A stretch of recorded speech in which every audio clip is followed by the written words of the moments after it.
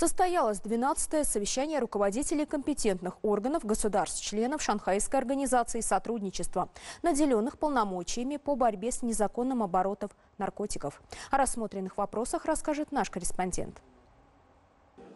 В ходе совещания сторонами дана оценка результатам взаимодействия совместной работы после подписания соглашения между государствами-членами ШОС о сотрудничестве в борьбе с незаконным оборотом наркотических и психотропных веществ. В особенности с момента запуска трехуровневого механизма антинаркотического партнерства, а именно ежегодное совещание руководителей компетентных органов государств-членов ШОС, наделенных полномочиями по борьбе с незаконным оборотом наркотиков. Второй уровень механизма подразумевает совещание старших должностных должностных лиц антинаркотических органов государств, членов ШОС. Третьим – деятельность рабочих групп экспертов. В свете председательства Республики Узбекистан Шанхайской организации сотрудничества 2021-2022 годы э, проводится ряд мероприятий антинаркотической направленности.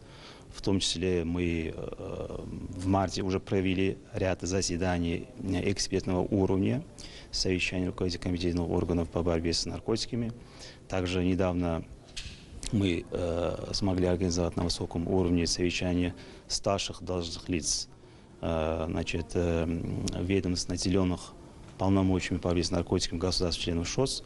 Эксперты выступили с докладами за дальнейшее практическое сотрудничество в рамках соглашения между государствами-членами ШОС, антинаркотической стратегии на 2018-2023 годы, программы действий по ее выполнению, а также укрепление взаимодействия компетентных органов по борьбе с незаконным оборотом наркотиков. Главы делегации, в свою очередь, выразили мнение о дальнейшем практическом сотрудничестве в рамках предусмотренных соглашений. В этой связи важно увеличивать количество мероприятий, проводимых по профилактике и лечению больных наркомании, агитационного характера по предотвращению распространения, в том числе психоактивных веществ и синтетических наркотиков.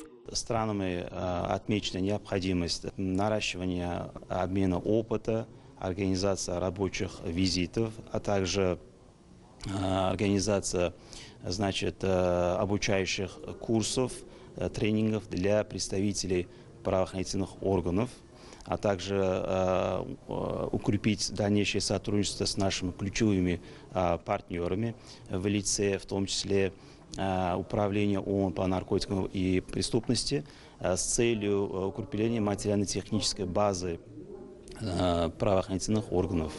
По итогам мероприятия был подписан солидный пакет документов, а очередное совещание решили провести в Республике Индия в первом полугодии следующего года. Подробная информация о прошедшей встрече была дана и в ходе брифинга для представителей масс-медиа.